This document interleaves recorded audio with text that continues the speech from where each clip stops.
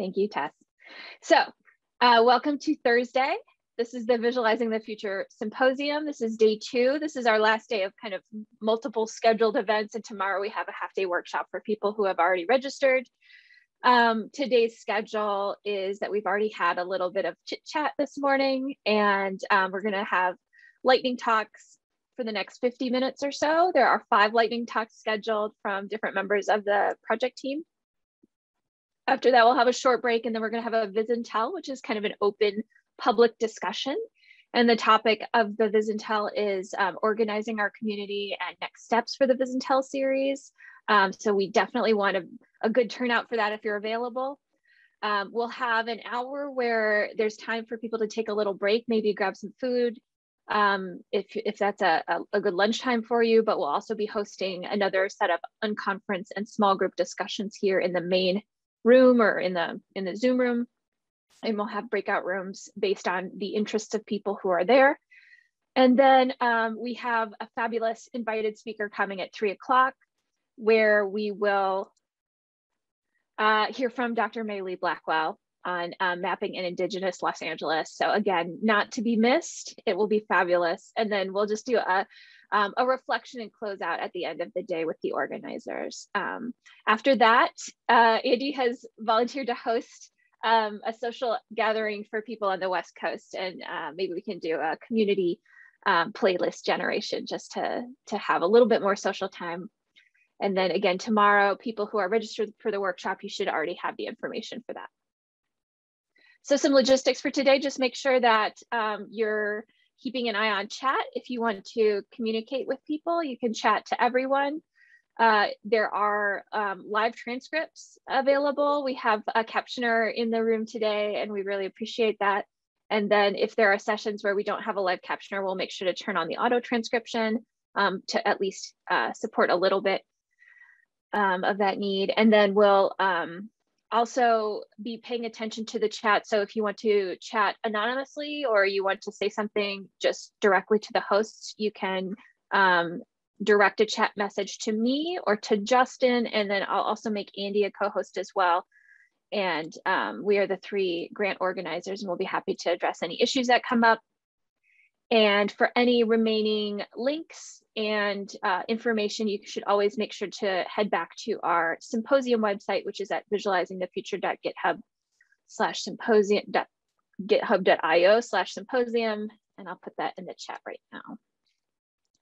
So we've got um, we've got a uh, yeah, we've got a um, nice slate of uh, talks, and I don't think I don't think we need to have any more reminders. So, without further ado, I will hand it over to Tess, and each talk will last about five to seven minutes, and we may have time for one or two questions in between, but hopefully we'll leave some time at the end as well for questions.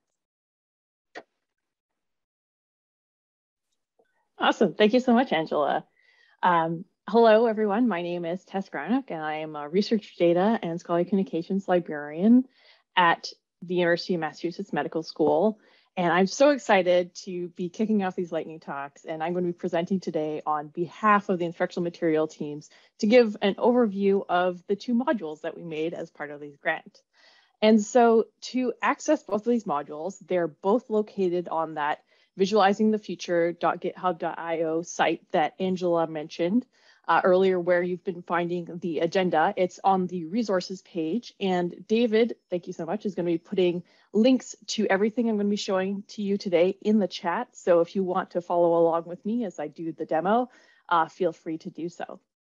So uh, the first module that I wanted to bring you into today is this ethics and data visualization module.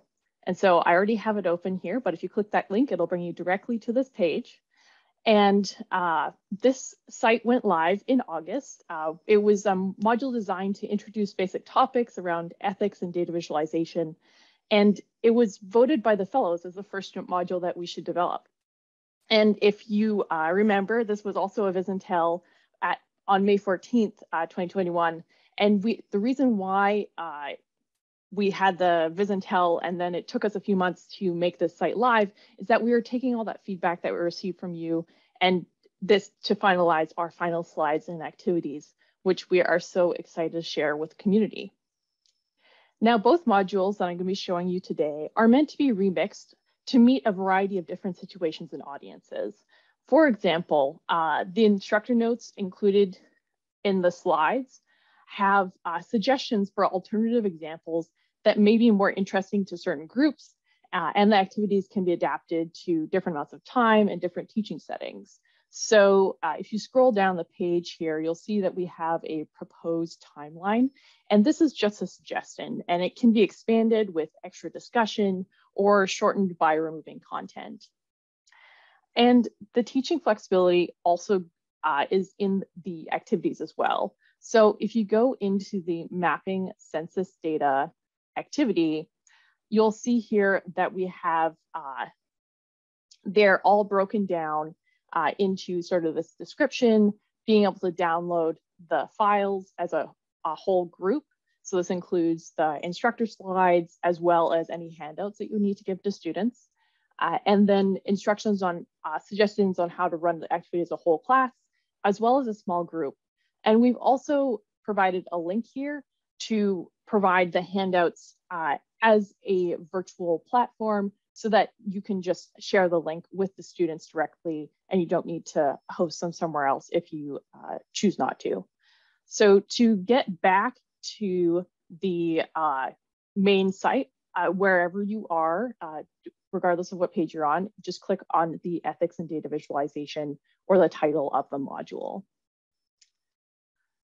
And uh, just to give you a little bit of a overview of the two activities, that mapping census uh, ACS data activity that I was showing you looks at the impact of intersectionality and intersecting identities when mapping demographic data. And the example uses American Community Survey data to map Mississippi counties. And the second uh, activity that we have is the redesigning economist charts activity. And this looks at the impact of chart elements on the clarity of the chart's message and how changing the elements can improve the clarity of the message and how to avoid confusion. So that brings me to the end of the ethics and data visualization module to present to you our brand new data visualization 101 module that was just released this week and you uh, would have received the link uh, in your email as well. And uh, this module is meant to give a general overview of data visualization. And uh, we've recorded this module is broken down into individual sections and we have recorded each section in this YouTube playlist. And so uh, it's broken down to nine sections and uh, we change up who recorded uh, which section. So you're gonna hear some different voices in the recordings. And the sections are what is data visualization, visual principles and properties, key parts of a data visualization, types of a data visualization and examples, approaching data visualization with a critical eye, preparing and understanding data, how are data visualizations made, designing for accessibility from the beginning, and designing for reproducibility from the beginning. And uh, as with the ethics in data visualization module, um, sorry, I just wanna, actually, I'm just gonna briefly show you how this looks in the slides because we've have a single slide deck for all of these different sections, but each section has its own header with a header slide that's going to look like this. So um, as I was starting to mention earlier, uh, as with the uh, ethics and data visualization module, we have activities that go along with this module as well. And so uh, we have uh, uh, several to choose from. And each of them is broken down. It has an introduction, some different possible sources and resources to uh, pull your either the chart example from uh, generally and has a total recommended time, as well as the, any tools or materials that are required to complete that activity. And uh, the what I like about uh, this particular about the chart makeover walkthrough is that these charts uh, could also be alternatives that you might want to use for the uh, economist uh, redesign chart activity that you saw in the ethics in data visualization module. uh, because even though we use economist charts in that activity, they can be easily replaced with other charts and using the same questions. And uh, the all of the activities in this module are a mixture of uh, group activities as well as individual activities. And to, you can, even though for uh, this module, if you scroll down the page in the proposed timeline section, uh, we have uh, the activities listed at the bottom. You can intersperse activities anywhere throughout uh, the course, wherever seems to fit best. And uh, if, for example, if I was doing a one hour sequence, I could use which charts would you choose version two, which is the shorter uh, version, maybe in after this types of data visualization and examples. So uh, to give a little bit of a break before finishing with the approaching visualizations with a critical eye section. And since the sections are recorded, they can also be assigned as pre-class materials. So you have more time for activities during the class period. And uh, the PDF of the slides should be coming soon. They're just going through an accessibility check. Now, we hope that these can be living modules, so we need your feedback. And the best way to give this feedback is through a GitHub issue. And to put in a GitHub issue, you can either click on the view project on GitHub or view on GitHub button on the either of the module pages. And I'm just gonna click on this one here. And you'll need to log into GitHub or create a GitHub account. It is a very simple sign up process. And once you're on the page, you'll wanna go to issues and then create a new issue and then submit uh, whatever feedback or uh, changes that you would like to see or suggestions. Uh, we would love to hear them. Thank you so much. And if there's any questions, I, Angela, if we have time, I'm happy to take them. Yeah, we can have um, one or two questions really quickly as we transition maybe. So Tess, maybe we'll have you stop sharing and we can get um, Ryan started. Any quick questions for Tess?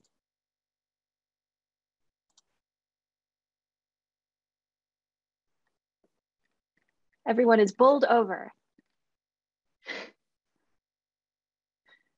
Okay, feel free to, yeah, free free to hold questions. And um, if, if something comes up later, we're happy to answer any questions here oh. or oh. in Slack or anything like that.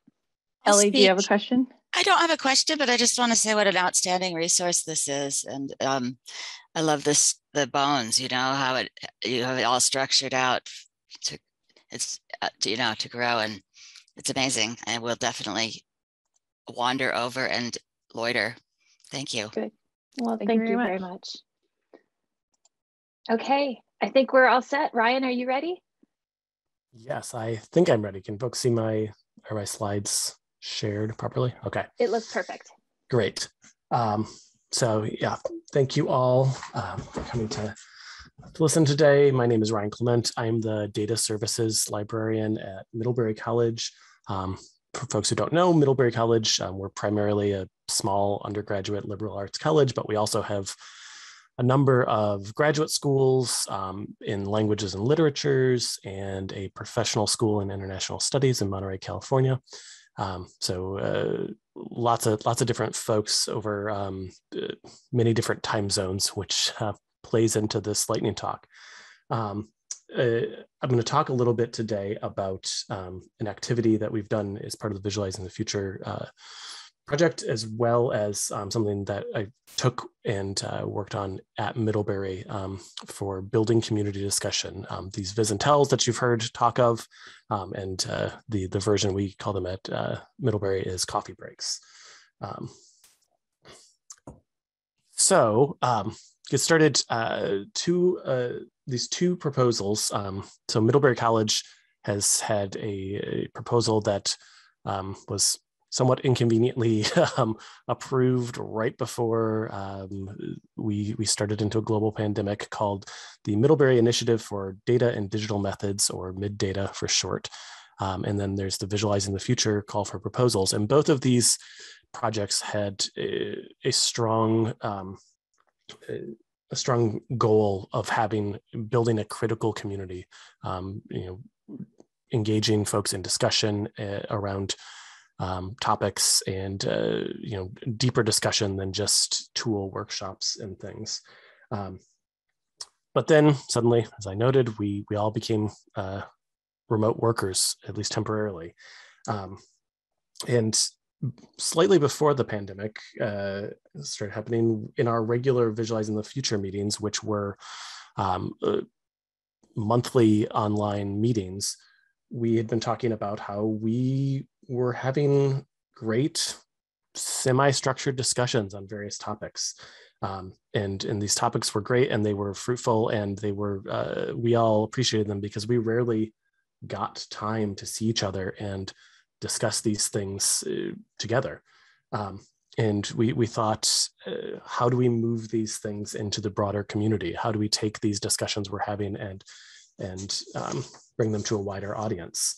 Um, we started thinking in one of these meetings about some different inspirations. We, we thought about things like uh, Makeover Mondays and Tidy Tuesdays, um, although these things were more, you know, hands-on, like getting deep into code, they they seemed more workshoppy than we wanted. They looked more at like tools and digging into code.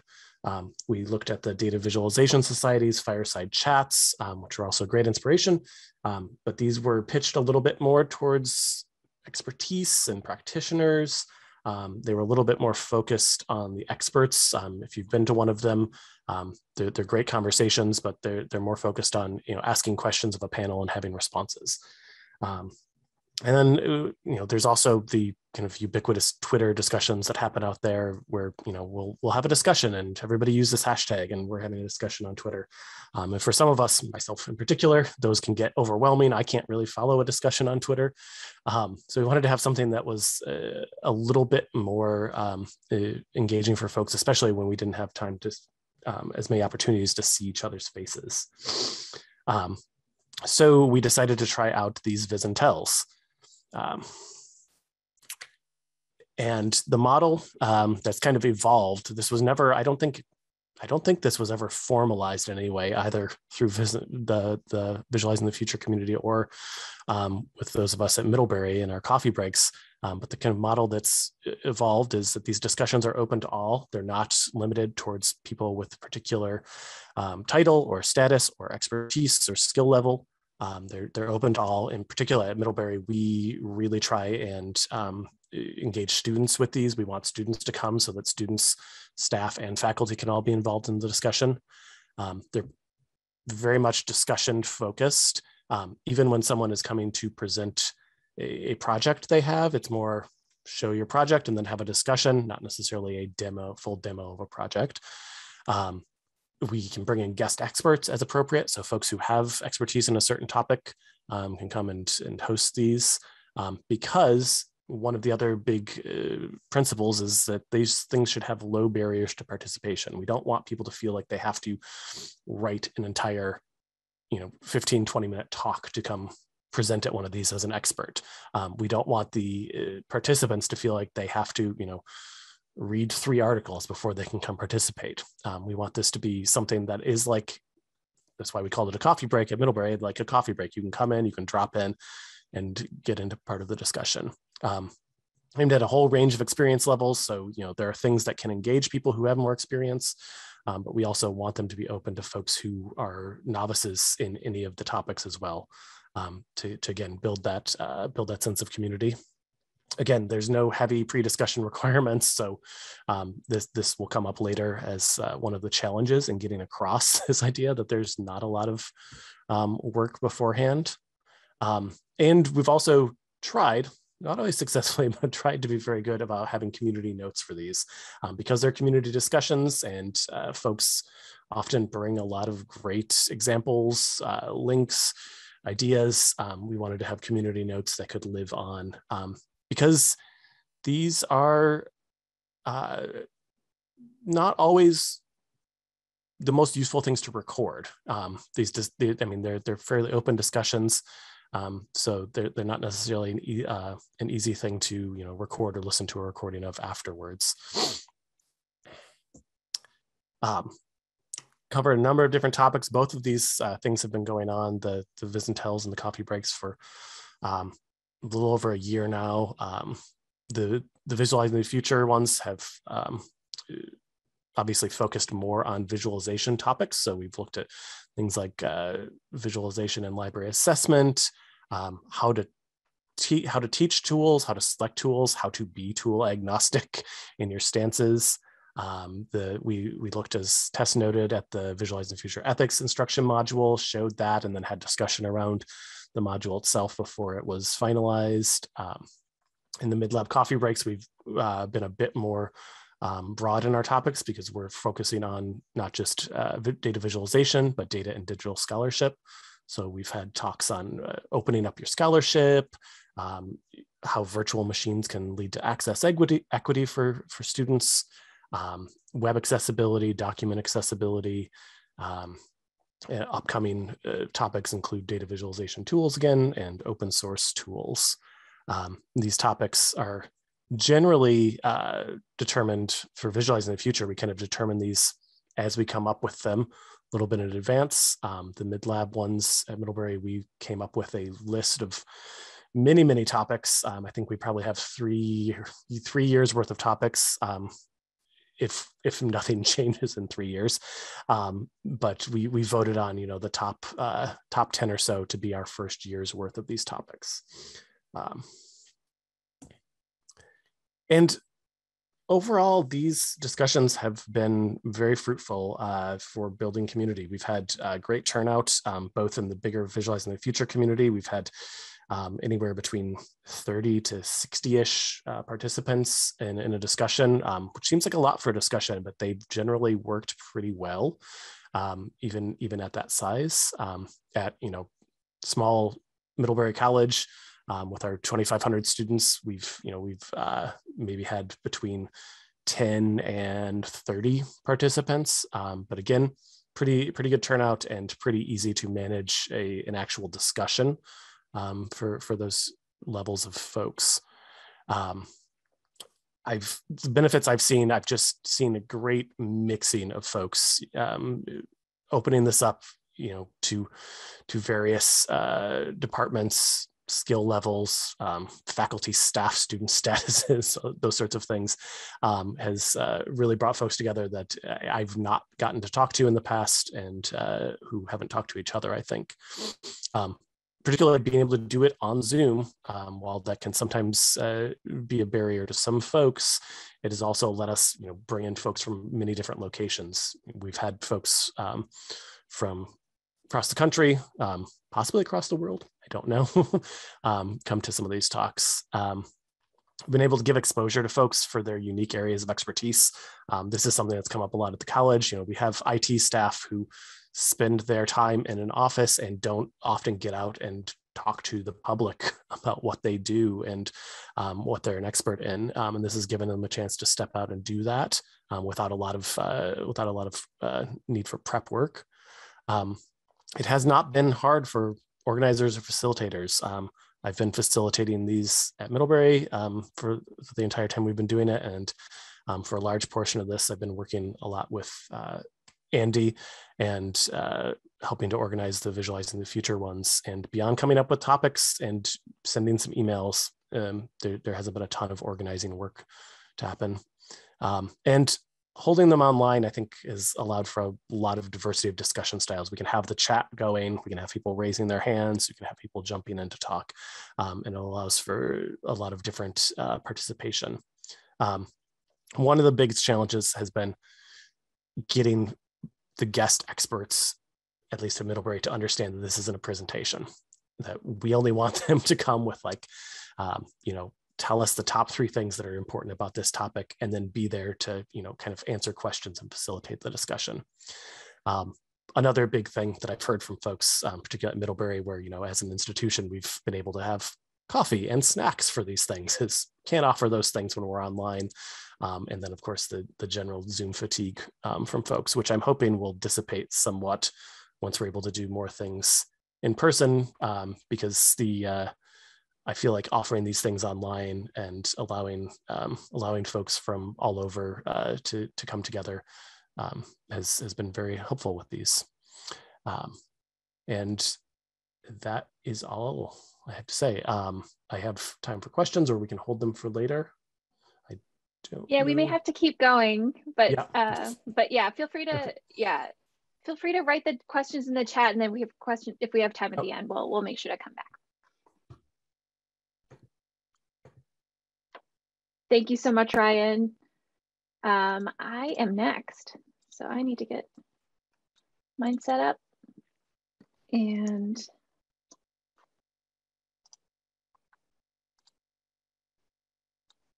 that should be good. Hopefully everybody can see that. Um, so I'm here to present on our Teach Viz by Example repository for data visualization teaching examples. Um, I'm Angela Zoss. I'm sharing this work done with my colleagues Joe Klein and Cass Wilkinson Saldana. And additional special thanks go to Amanda West, who developed an early version of the repository while still an undergraduate student at the University of Michigan. Um, so I uh, am following up on um, all of the great work that we've already shown today, including the instructional modules, which were one of the early outcomes that we knew this grant should have. Um, but even when we are distributing instructional modules that include examples, we know that that's not necessarily going to do everything that people need. So there is a need to tailor instructional modules. Um, when you're teaching, you might want to tailor tailor your module to a new audience or to capitalize on a new trend. And sometimes you just want to highlight a specific technique and you don't have a, a current example that shows that, that particular technique for a visualization or a data set. Um, so this repository is designed to help instructors with one of the trickier tasks in course design, which is finding appropriate teaching examples. Um, so teaching, as I said, teaching data visualization topics requires uh, tailoring visualizations or data sets to a particular audience. Um, but it's actually pretty hard to find visualization examples and data set examples, partly because they need to have specific properties. Um, they need to uh, conform to the lesson that you're teaching pretty tightly, and they need to be at the right level for your audience. Um, so that process of searching, for example, visualizations or data sets that are good for teaching can take a lot of time and existing places where data are shared don't actually capture the information we need to evaluate the visualization or the data set. Like we might need to know exactly what fields are in the data set or what patterns are in the data. And that doesn't show up until you download the data set and start playing with it yourself. Um, so we, we saw a need for a place that was really tailored to sharing and finding data sets and visualizations designed for teaching, especially the kinds of teaching that we're promoting here in Visualizing the Future, teaching that focuses on critical skills or literacy. Um, as we were working on this project, um, which uh, was kind of inspired by discussions amongst the fellows, um, we knew that we needed to start building up the exact requirements we needed for the project. Um, we wanted to uh, combine both what we were finding in an environmental scan and also the feedback we were getting from other members of the Visualizing the Future team to, um, to uh, set up these requirements. And then we also needed to see what kinds of software was available that might help us build this sort of tool. So um, different kinds of uh, repository softwares exist, but they may not all match our needs for um, how easy they would be to spin up or how easy they would be to host or the kinds of features that they might have. What we discovered and what we landed on is a platform called Wax. Um, in 2018, the Minicomp team released Wax as a minimal computing project for producing digital ex exhibitions focused on longevity, low costs, and flexibility. Um, so Wax provides a foundation for a wide variety of minimal projects, and it has a focus on digital exhibits and image-driven digital exhibits in particular. Um, so uh, even though it has this focus on digital exhibits, um, Wax has many of the features we were looking for in a repository designed for highly visual content. We felt that the minimal computing philosophy was an excellent fit for our project because we're situated in libraries. Um, we knew that we would need something easy to deploy and maintain to promote sustainability. And we felt that GitHub would be an ideal hosting platform, both for the ability to share code and for the ability to host without any fees. And Wax is designed to be hosted on GitHub. And then finally, as a team, we were really open to tools that require some light programming and command line processing. And so WAX does have a little bit of uh, a requirement in that um, vein, but it's um, pretty uh, pretty accessible even if you only have just a little bit of comfort with those those kinds of skills. Um, so what we created was teaching Viz by example, and um, most of the development has gone into the back end and setting up the repository. It's not as full as we would like, so it's not quite done yet, but um, we are happy that, uh, that the software has gotten to where it is. The repository shown in these screenshots offers a gallery view, so you, you um, can look at all of the examples as a, um, as a gallery. And then clicking on an example takes you to an individual view of um, either the, the visualization or the data set, including its metadata. Uh, the WAX software helps prepare the collection metadata for display in the site, and the WAX theme sits on top of Jekyll uh, to create the image galleries and item pages with their item viewers.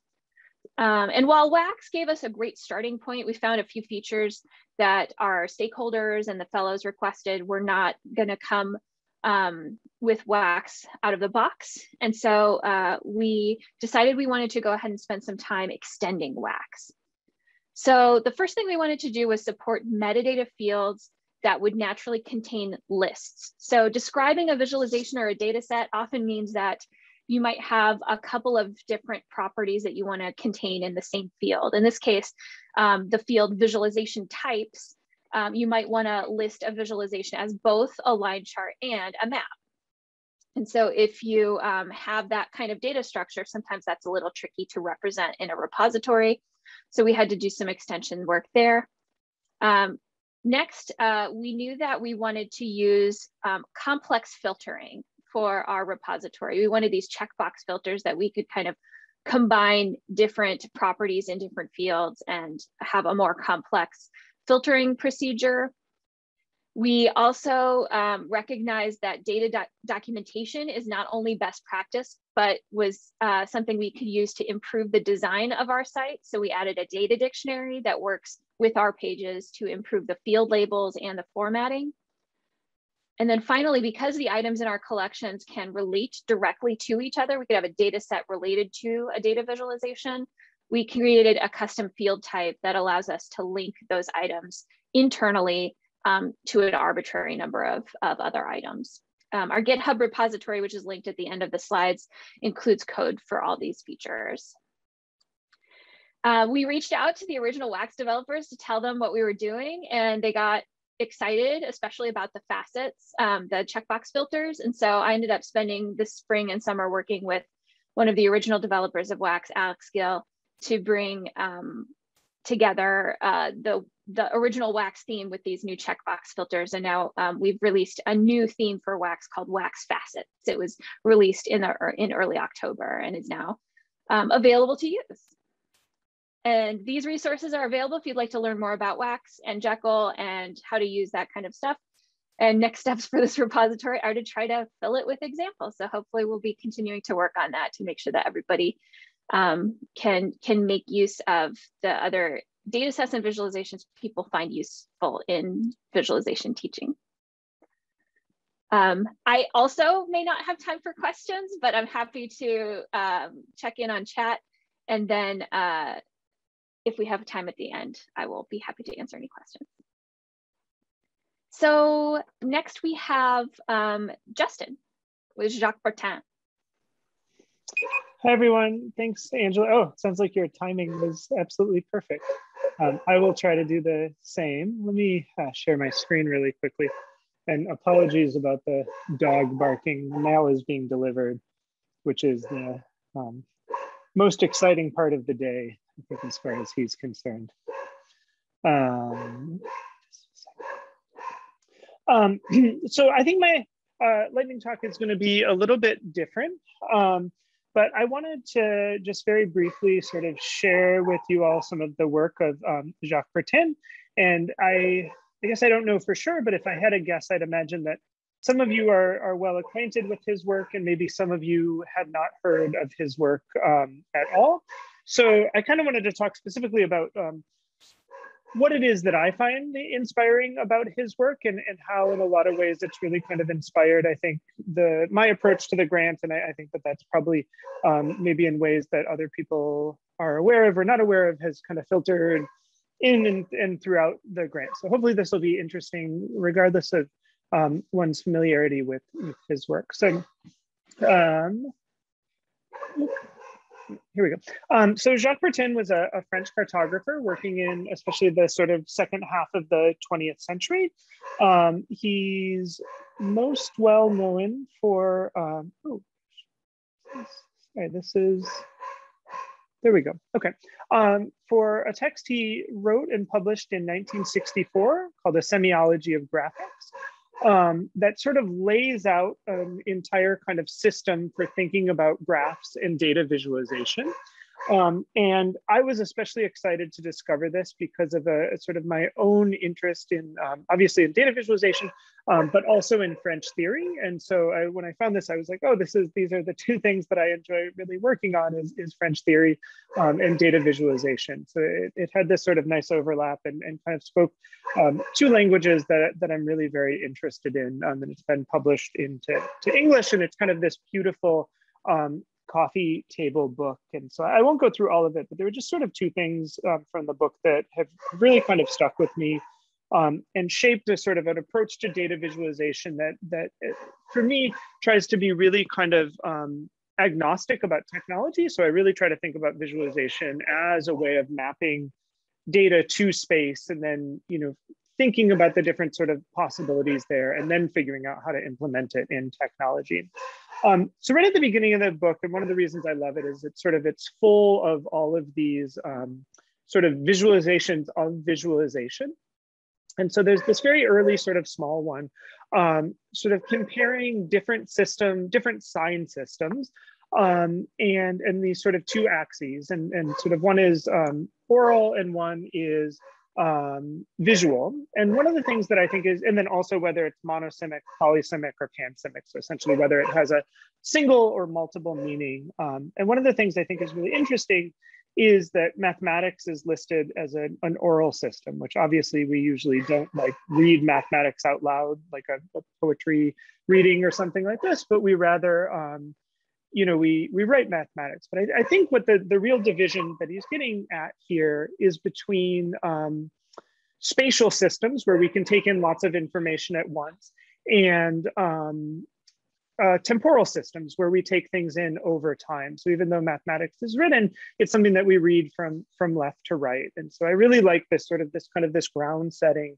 of visualization as a way to display information spatially and, and arrange it in a way that um, that we can sort of take in a bunch of information at once and, and our eyes can move around. And then this sort of this movement from uh, very specific kind of hard coded in visualization all the way to abstract imagery. And, and I think he's not saying that it's necessarily objective, but that, you know, we have some sort of rules for creating these. And then the other sort of element that I, I think has, has really influenced me is, is this sort of this other graph that he makes of, um, he divides sort of our, our, capabilities of making graphs into the two positional variables, so the x and y on the axis um, on the axes, and then the six what he calls retinal variables, so size, shape, orientation, color, texture, and value. So he separates color and value. Um, and then um, creates this graph that it, it's worth, I think, spending a little bit of time with. Um, and you can just find it online. You don't need the whole book. Um, but then he sort of shows everything that the different retinal variables can can show us. So you can see quantity and order, or, or you know, quantitative variables, um, association, selection, or qualitative variables. So grouping, telling when things are the same um, or different. And he goes through and he says, okay, so size is really the only one that can show us quantity. Um, value can show us order, so you know you can see if something is is bigger or smaller, but you can't necessarily say, okay, this color is you know twice as big as this one. Um, and he goes goes on in this way. And the thing I really like about it is that so much I think of the approach to visualization, and if you think about, you know, if you go into Excel and try to create a visualization, is it's really sort of based on this kind of chart chooser um, way to do visualization, right? You're in Excel and you say, okay, um, you know, I want to make a scatter plot or something like this. Um, but thinking about it in this sort of semiological kind of way where we're thinking about arranging information over space and we're using you know this very limited um, palette in a lot of ways with just these six retinal variables and the two positional variables. Um, it both i think sort of to my mind and in teaching students really kind of limits it shows you the limits of what visualization can do but in showing the limits i think it also sort of informs us of all of the kind of diverse possibilities and the different ways in which you know we can even if you know it's it's um, monosemic in the sense that you know a, point at five five means that the data was you know five and five but the the sort of the stories and narratives we can tell from this this really kind of simple system um, expand almost infinitely and so um, I think I'll just leave it there for the sake of time and, and happy to answer questions. But I, I do think that um, you know, this work has been incredibly important to me and just sort of thinking about both the limits and the affordances of visualization and seeing information displayed spatially and the different stories and uh, narratives we can tell from it um, is incredibly powerful um, and, and really informs my approach to data visualization. So thank you. Thanks so much, Justin. That's great.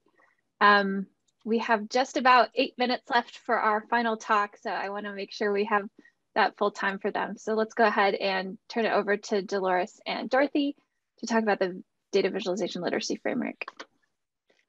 And I'm working on sharing the screen. So, oh, there we go. I can do that. Looks okay. great. Can you see it? PowerPoint? Okay. Yep. Okay, well, this is going to be uh, a, a framework for data visualization, a very short framework for data visualization, our foundations and threshold concepts. So uh, for those of you who don't know us, my name is Delores Carlito, and I am at UAB's Mervyn Sterne Library. And my interests, I got into this because of uh, teaching classes about multimodal composition. And so those are my interests. Dorothy? Um, and my name is Dorothy Ogdon. I'm the head of emerging technology and system development in UAB Library's technical technology and technical services department. Um, and I uh, was previously a health sciences librarian. And so I developed an interest in, in this in looking at different ways people were talking about data visualization within health sciences librarianship. Um, and now in my current role, I'm also interested in looking at how this relates to some of the projects we're gonna do in our technology spaces, including uh, data walls, data displays, and using products from the Adobe Creative Cloud uh, for multi to support multimodal literacy.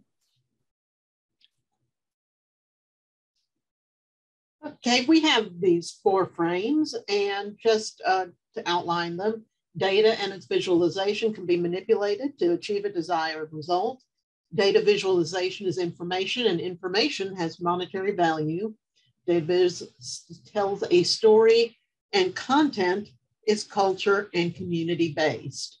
And so just to quickly break them down and what they mean. So if data can be manipulated to achieve a desired result, that means that data itself is an object. It can be manipulated for positive or negative means, and that the communication can change between the transmitter and the receiver.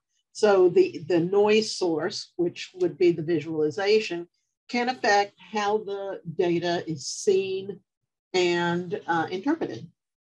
So as an example of that, I have this so it, you look at it and you think, oh, well, wow, look at how those numbers have gone up. But you'd have to you have to notice that it shows random months, October through April. Why that? The y-axis starts at 150, make it seem scary. Uh, it doesn't say that at, it had decreased substantially. It has decreased substantially since 2008 if you look at the colors they've chosen, black and blue, like police, versus the red, the yellow and orange that looks like fire and danger. So they have used this visualization and manipulated several aspects of it to get a point across.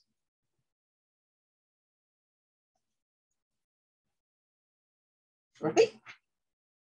Um, our next frame, data visualization is information and information has monetary value, um, speaks to the idea that data is a currency of power.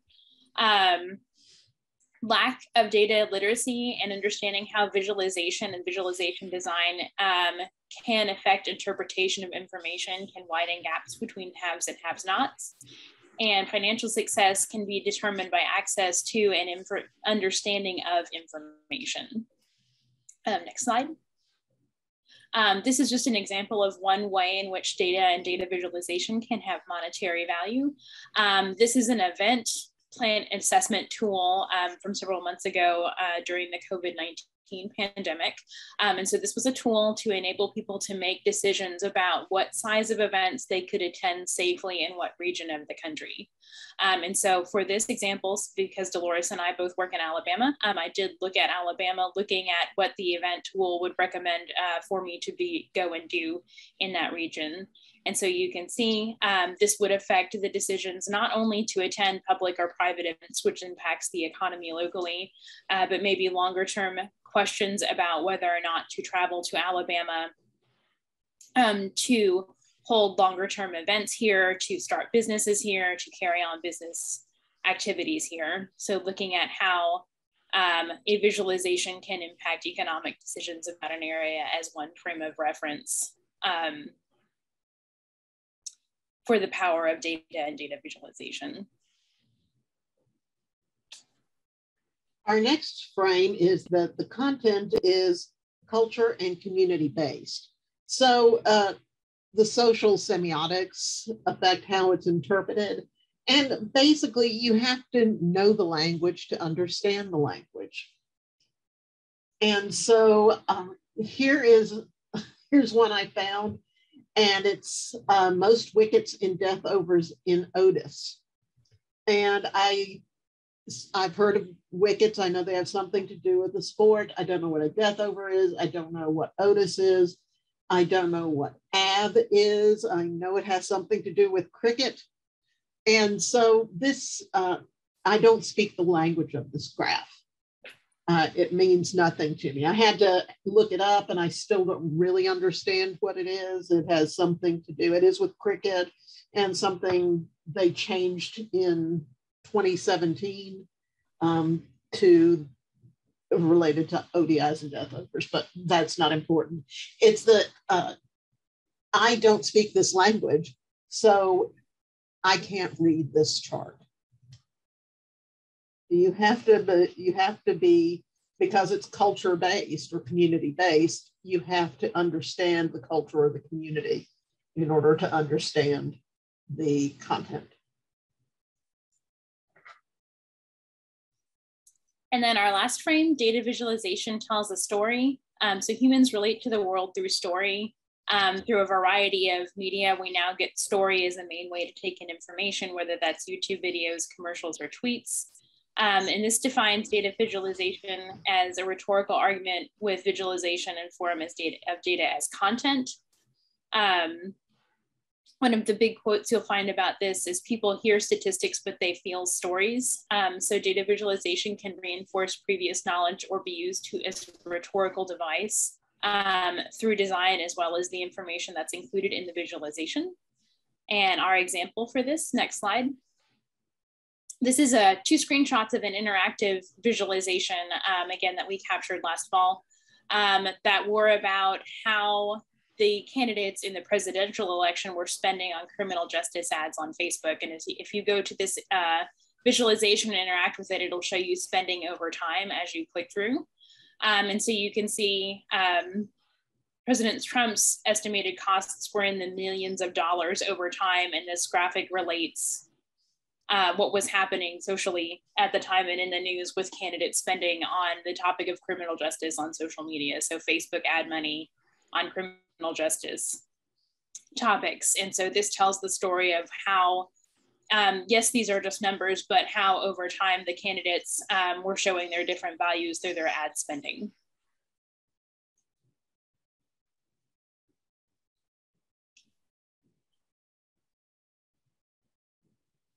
Um, the implications are that of our framework is that um, the creator has is not just has to think in terms of being a user, a designer, a presenter, an evaluator.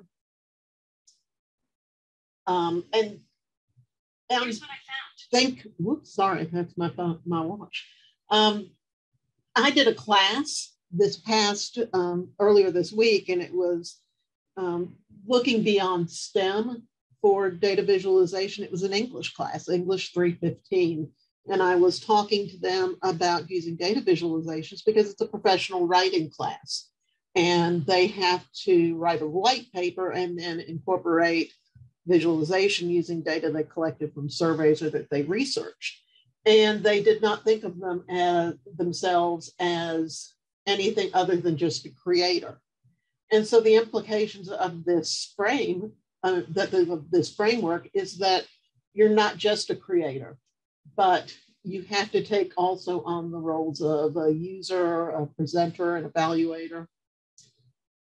Another implication is that the it's an evolving skill and it applies across disciplines and professions. And that the role of the library is to facilitate the development of proficiencies in abstract thinking. So we have a very large role in, in data visualization. Right now, with our status, we're reading more and broadening our search as it relates to data visualization and, and seeing how it ties into scholarly communication. We're looking at the ACR, ACRL framework and meta literacy and see how they interact, and uh, especially with the update of the visual literacy document, the framework for visual literacy in higher education. And we are starting to look again beyond STEM. Are there any questions? Thank you so much. I just love seeing that work. We had uh, we have already had a um, request for your slides, and hopefully we'll be able to be able to share everyone's slides via the symposium website. And um, when we send out recordings, we'll try to make sure that all the links are update up to date. But thanks so much to all of our Lightning Talk um, presenters. Um, we have right now a 10 minute break scheduled. Uh, so we might want to preserve that 10 minutes and start our and just a little bit late, but um, I hope you'll take a, a, short break and come right back and we'll have a, a group discussion about Tells, um, which were set up so nicely uh, by Ryan. And I encourage you, if you do have questions um, and you want to reach out to any of the presenters today, feel free to do so. Thank you. See you in a bit.